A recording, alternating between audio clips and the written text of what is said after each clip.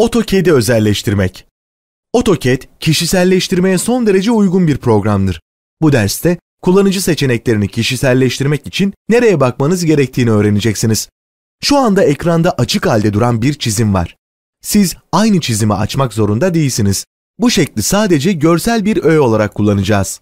Şimdi kullanıcı özelliklerini değiştirmek için Options yani seçenekler iletişim kutusunu açın. Bunu yapmanın bir yolu Application menüsüne ve aşağı gelerek Options tuşuna tıklamaktır. Bu büyük ancak iyi şekilde yerleştirilmiş yüzlerce seçeneği bulunan bir pencere görüntülemenizi sağlayacaktır. Tüm bu seçenekler sekmelere bölünmüş durumdadır. Options iletişim kutusu daha önce gördüğümüz şerit gibi çalışır. Şimdilik tüm bu seçenekleri incelemeyeceğiz. Bunların arasından bazılarını nasıl kullanacağınızı, bunların nasıl çalıştığını ve diğer seçenekler hakkında nasıl daha fazla bilgi alabileceğinizi göreceksiniz. Şimdi display yani görünüm sekmesine bakalım. Sekmenin çeşitli isimlerde gruplara ayrıldığını göreceksiniz. Bu gruplar şeritteki panellere benzerler. Her grup ilişkili birkaç ayar barındırır. Bu ayarı aradığınız zaman bu, grupları bulmanızı kolaylaştırırlar. Şimdi bir değişiklik yapalım. Çizim penceresinde kaydırma çubuklarını görüntülemek için bu seçim kutusuna bir işaret koyun. Daha sonra aşağı gelerek Apply yani onayla tuşuna basın. Bu aşamadan sonra AutoCAD arayüzünüze kaydırma çubukları ekleyecektir. Bakış açınızı değiştirmenin birçok yolu vardır. Bu nedenle bu kaydırma çubuklarını kapatalım. Bunun için işareti kaldırın ve ardından Apply tuşuna basın.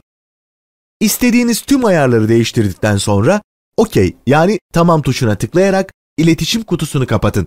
Eğer imleci herhangi bir yazının üzerine getirirseniz AutoCAD bu nesne hakkında daha fazla bilgi içeren bir açılır pencere görüntüleyecektir. Bu açılır pencereye Tool Type yani araç ipucu denir. Tool Type durumunu kullanıcı seçeneklerinden ayarlayabilirsiniz. Şimdi Options iletişim kutusuna dönelim.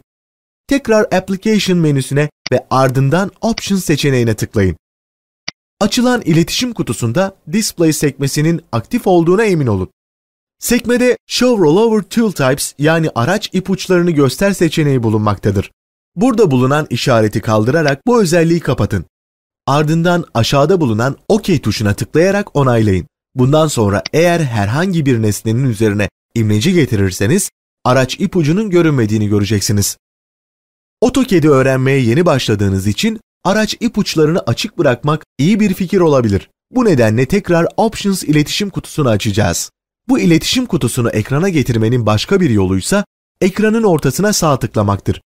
Açılan menünün en altında Option seçeneğini bulabilirsiniz. Buradan bu özelliği tekrar açın. Şimdi seçeneklerin geri kalanıyla ilgili nasıl bilgi alacağınıza bakalım. Eğer imlecinizi herhangi bir seçeneğin üzerine getirirseniz, AutoCAD bu seçenek hakkında daha fazla bilgi veren bir pencere açacaktır. Dikkat ederseniz bu seçeneklerden bazılarının yanında bir çizim simgesi vardır. Bu, o ayarın sadece o anki çizime uygulanabileceğini gösterir.